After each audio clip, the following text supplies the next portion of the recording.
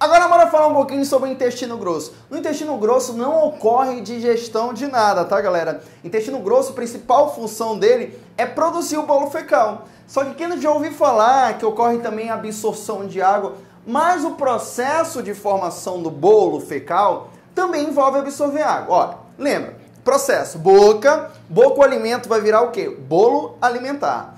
O bolo alimentar vai passar para faringe, esôfago, estômago. Lá no estômago, o bolo alimentar vai virar quimo, processo chamado de quimificação.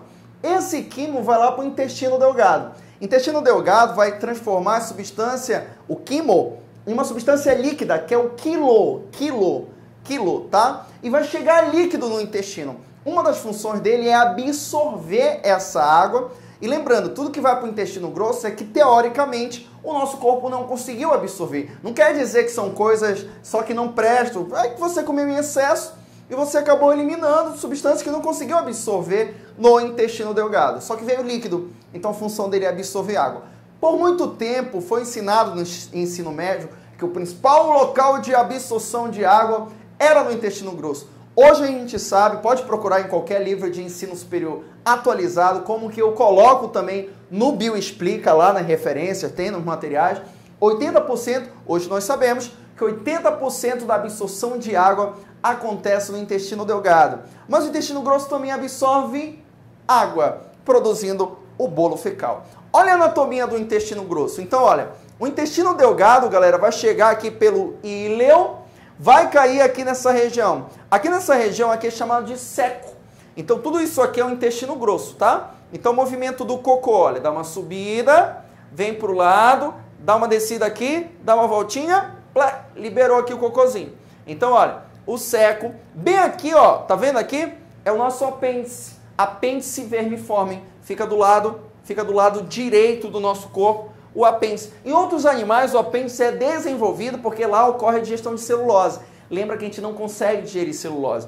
A celulose ela faz parte também das fibras, que a gente chama de fibra, celulose, pectina também, que não é carboidrato. A gente não tem enzima para fazer a digestão. Só que a celulose tem uma importância para a gente. Sabe qual é?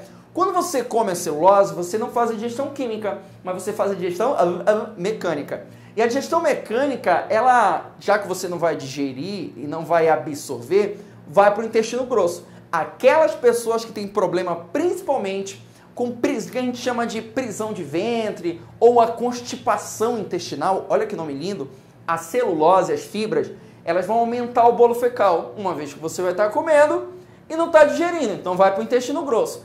Aumentando o bolo fecal, e se você beber bastante água, aumenta a peristalse. Peristalse é movimento peristáltico dentro do intestino. Com isso, aumenta a defecação.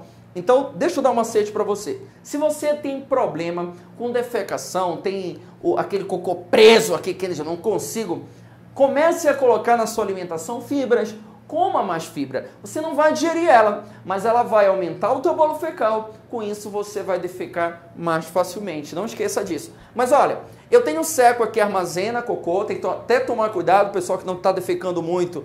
O apêndice, pode vir cocô aqui para o apêndice inflamar, estourar. Você pode ter uma infecção generalizada e até morrer.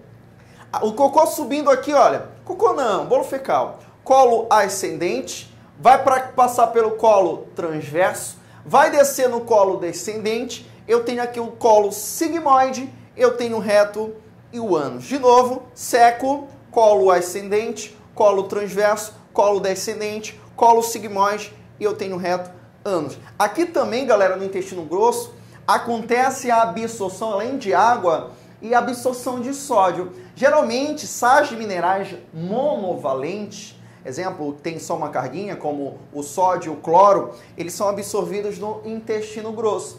E é eliminado aqui, que o nosso corpo não quer em grande quantidade, potássio.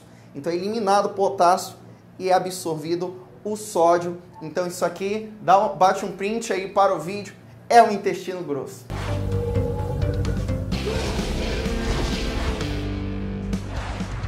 Deixa que a gente explica